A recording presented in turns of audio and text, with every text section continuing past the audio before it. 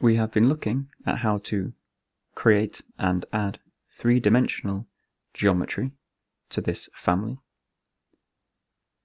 However, in the next few videos, we'll be looking at adding 2D elements to embellish the 3D geometry. And firstly, we'll be looking at symbolic lines, which are lines that are meant for symbolic purposes only, that are not part of the actual geometry of the family, and they are only visible in views parallel to the view in which they are created. And note that I cannot add any 2D components or elements into a 3D view. So if I go to a floor plan, I can now create a symbolic line and I just want to outline the location of the frame and legs in plan. So I will select symbolic line. I can select an appropriate subcategory. None of them exist, so I will create one later.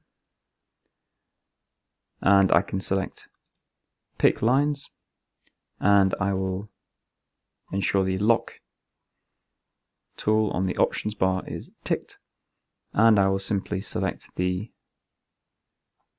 center reference plane for the legs. I'll then use the trim tool to trim these lines together and once that's done I can see that I have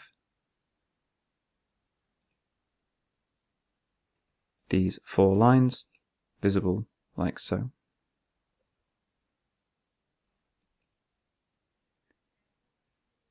I'll go to the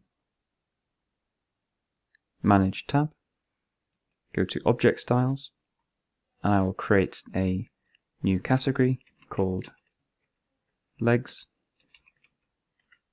Hidden. Select OK. Change the color to grey and change the line pattern to dashed. Select the lines and change the subcategory to legs hidden. So note they are visible in this floor plan, but if I go to 3D, they are not visible in the 3D view. So they are only visible in views parallel to which they are drawn in. I will select the lines again. I will set the visibility settings to only show in fine.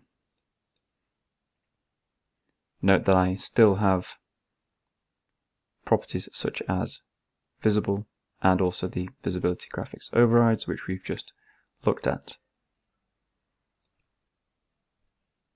I'll then load into project, overwrite the existing version, go to my floor plan, and if I zoom in, I'm currently in a detail level of medium, but if I go to fine, I can now see the symbolic outline of the legs. But if I go into 3D, check that the view is in fine, I cannot see them. So symbolic lines are useful for adding additional 2D line work that you want to see at usually a higher level of detail and would only want to see in specific views.